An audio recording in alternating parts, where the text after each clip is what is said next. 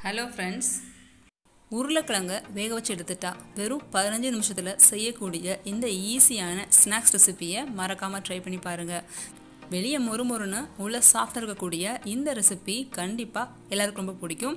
இதே மாதிரி நிறைய ரெசிபி தெரிஞ்சுக்க ஏவிடி கிச்சன் சேனலை சப்ஸ்கிரைப் பண்ணிவிட்டு பக்கத்தில் இருக்க பெல் ஐக்கான் ஆல் கிளிக் பண்ணுங்கள் வெல்கம் டு ஏவிடி கிச்சன்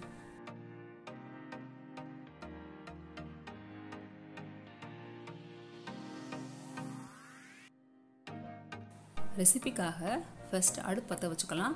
கடாயில் நூற்றி ஐம்பது எம்எல் தண்ணீர் விட்டுட்டு இது கூட முக்கால் டீஸ்பூன் அளவுக்கு சால்ட் சேர்த்துக்கோங்க. காரத்துக்காக அரை டீஸ்பூன் சில்லி பவுடர் வாசனைக்காக அரை டீஸ்பூன் ஜீரகம். இதெல்லாம் சேர்த்துட்டு நல்லா கலந்து விட்டுடுங்க. தண்ணி கொதிக்க ஆரம்பிக்கணும். கொதிச்சதுக்கப்புறமா இது கூட அரக்கப்பளவு ரவை சேர்த்து நல்லா மிக்ஸ் பண்ணி விட்டுடலாம்.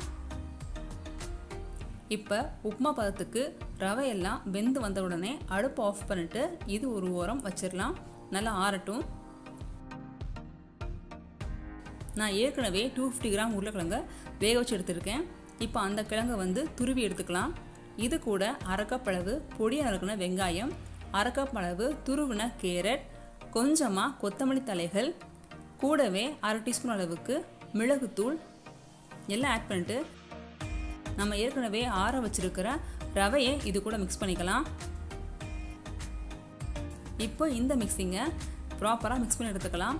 ஒருவேளை உங்களுக்கு தண்ணி கூடிடுச்சு அப்படின்னா கால் கப் அளவு அரிசி மாவு சேர்த்து இந்த மிக்ஸிங்கை ப்ராப்பராக நீங்கள் மிக்ஸ் பண்ணி எடுத்துக்கலாம். வெஜிடபிள் மிக்ஸ் ரெடி ஆயிடுச்சு. இப்போது கையில் கொஞ்சமாக ஆயில் அப்ளை பண்ணிவிட்டு சின்ன உருண்டைகளாக எடுத்து நமக்கு பிடிச்சமான ஷேப்ஸில் இதை ரெடி பண்ணிக்கலாம். ரெடி பண்ண இந்த வெஜிடபிள் மிக்ஸை வந்து ரவையில் கோட் பண்ணி எடுத்துக்கோங்க. இதே மாதிரி மீதம் இருக்கிற எல்லா வெஜிடபிள் மிக்ஸையும் ரெடி பண்ணி வச்சுக்கலாம். ஃபிஷ் ஃபிங்கர்ஸ் மாதிரியே இது வெஜ் ஃபிங்கர்ஸ் இப்போது ரெடி பண்ணி வச்சுருக்கிற இந்த வெஜ் ஃபிங்கர்ஸை சூடான ஆயிலில் போட்டு மீடியம் ஃப்ளேமில் ஃப்ரை பண்ணி எடுத்துக்கலாம். ரெண்டே நிமிஷத்தில் இது ஃப்ரை ஆகிடும் இன்றைக்கி ரெடி பண்ணியிருக்கிற இந்த வெஜ் ஃபிங்கர்ஸ் கூட டொமேட்டோ சாஸ் சர்வ் பண்ணியிருக்கேன் இந்த டொமேட்டோ சாஸுடைய ரெசிப்பியை டிஸ்கிரிப்ஷன் பாக்ஸில் கொடுக்குறேன். தேவைப்படுறவங்க செக் பண்ணி பாருங்கள் ஓரளவுக்கு சிவந்தா போதும். இந்த வெஜ் ஃபிங்கர்ஸ் ரெடி ஆயிரும். இந்த ரெசிப்பியை மறக்காமல் ட்ரை பண்ணி பாருங்கள் இந்த ரெசிபி பிடிச்சிருந்தா வீடியோக்கு ஒரு லைக் கொடுத்துட்டு மறக்காமல் ஏழு கிச்சன் சேனலை சப்ஸ்கிரைப் பண்ணிக்கோங்க தேங்க்யூ ஃபார் வாட்சிங்